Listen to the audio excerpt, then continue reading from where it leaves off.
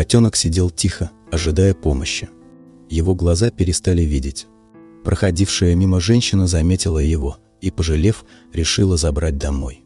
Его бросили, потому что он был болен. Женщина бережно положила котенка в картонную коробку и отнесла домой. По дороге котенок вел себя хорошо, оставаясь спокойным в своей коробке. Он не шевелился и не издавал никаких звуков, как будто знал, что его спасают. Женщина сразу же отправилась в аптеку, чтобы купить глазные капли и другие необходимые принадлежности.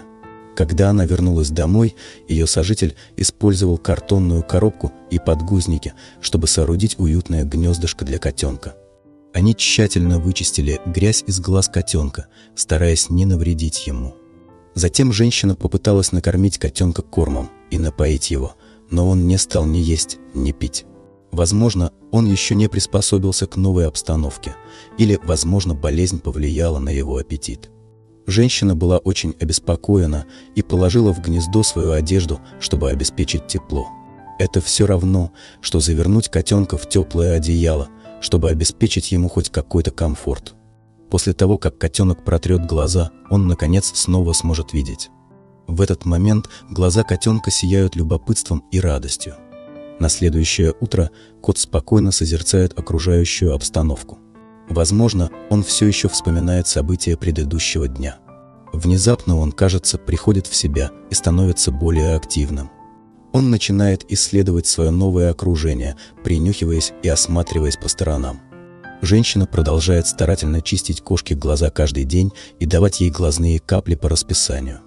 Это помогает ему быстрее восстановиться – Кошка немного сопротивляется, но легкий массаж глаз помогает глазным каплям лучше впитываться. Котенок продолжает мяукать, выражая различные эмоции. Кажется, он действительно понимает, что говорит женщина. Это вызывает у женщины еще большее сочувствие к котенку.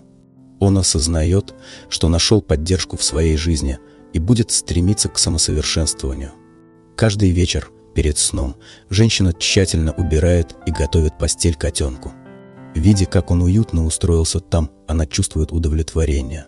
Она также купила ему несколько милых маленьких игрушек в надежде, что он будет спать спокойно. Перед тем, как лечь спать, он, кажется, сопротивляется, как будто не хочет, чтобы она уходила. Поскольку котенок не в состоянии самостоятельно питаться, его необходимо кормить с помощью шприца, в котором содержится питательное козье молоко.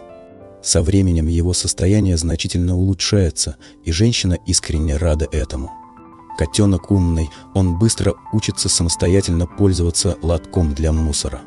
Этот сюрприз заставляет женщину полюбить его еще больше.